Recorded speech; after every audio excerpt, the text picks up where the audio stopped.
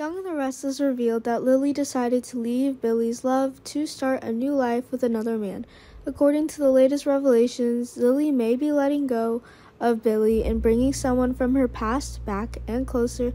She will find herself a new happiness besides Michael. He is ready to take on the role of Daniel. So, how will the whole plot unfold? Follow the latest details on our channel.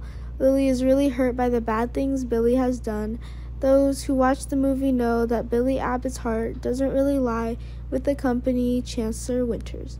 He doesn't even fit, feel fit to cooperate for a corporation corporate organization like this.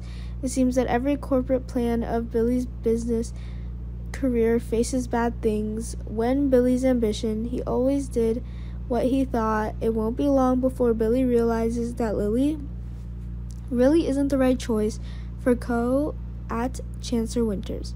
It's time for Lily to choose her own path, even though Billy has promised Lily to be with her and help her through the transition, and once that happens, she can decide to let him go, but what's next?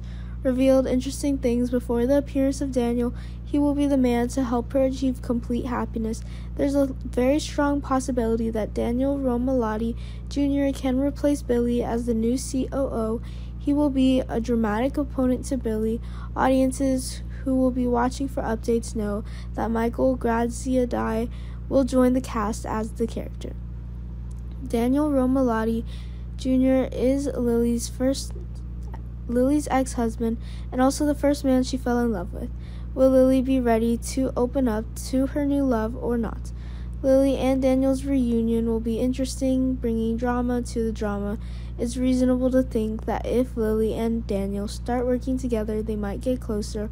All of this could lead to Lily and Billy facing troubles in their relationship themselves.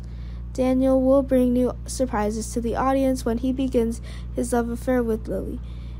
It will be interesting to see how Lily deals with it. The Young and the Restless airs on YNR every day of the week. In the meantime, Part TV and Spoiler will bring interesting things.